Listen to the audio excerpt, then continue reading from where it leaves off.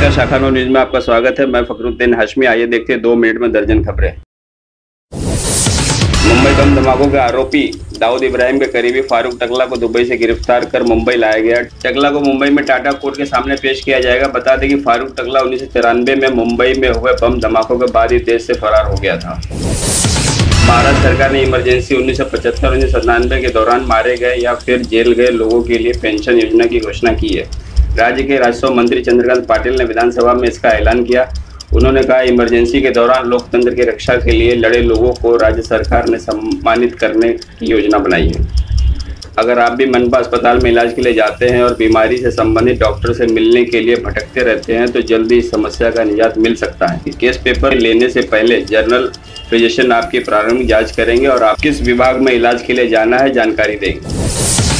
Don Ravi पुजारी से निर्देशक रेमो डिसीजा को धमकाने के आरोप में मंगलवार को फ़िल्म निर्माता सत्येंद्र त्यागी को गिरफ़्तार किया गया। अब पता चला है कि त्यागी ने अपने एक दोस्त के लाइसेंसी रिवॉल्वर से यह गोली खुद ही चलवाई थी ताकि बाद में रेमो डिसूजा को फंसाया जा सके।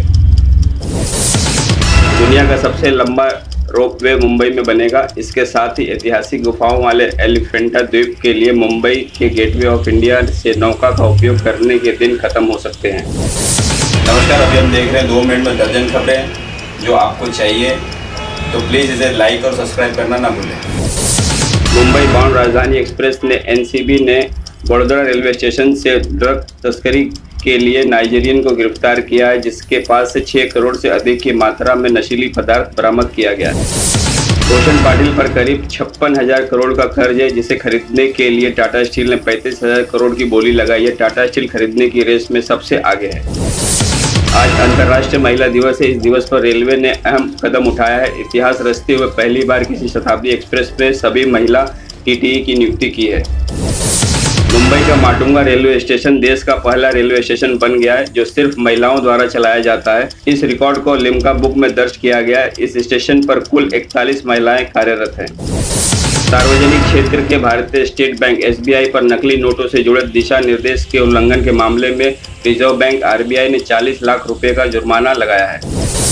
नासिक से मुंबई तक 180 किलोमीटर लंबे मार्च पर निकले 25,000 किसान पूर्ण कर्ज माफ़ी की है मांग। अमिताभ बच्चन ने अपने ट्वीट अकाउंट पर स्वच्छ शक्ति और स्वच्छ भारत थीम का एक वीडियो शेयर किया है, जिसमें देश की प्रगति में महिलाओं की भागीदारी को दिखाया गया। है इतना ही नहीं, अमिताभ ने तीन तस्वीरें भी ट्वीट पर शेयर की है, जिसमें उनके परिवार की महिलाएँ शक्ति की झलक दिख रही है। शाखा नौ, न्यूज़ चैनल। दो मिनट में बारह खबरें। कैसा लगा? पसंद आया? लाइक करें, शेयर करें और सब्सक्राइब करें। धन्यवाद। मैं आपका एक्टर शिव कुमार वर्मा।